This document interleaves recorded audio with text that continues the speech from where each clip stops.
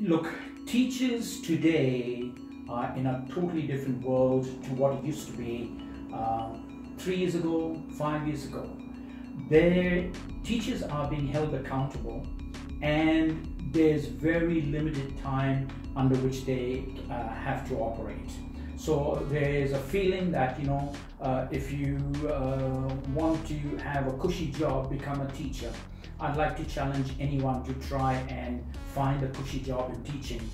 Teachers have to deal with uh, the modern digital connected student and uh, so they need to be constantly researching constantly finding material that's going to be engaging for them and so you know we didn't want to impeach on teachers time where they have to go and find content, then they have to edit the content, remove all the advertisements, uh, and that's a very time consuming uh, process.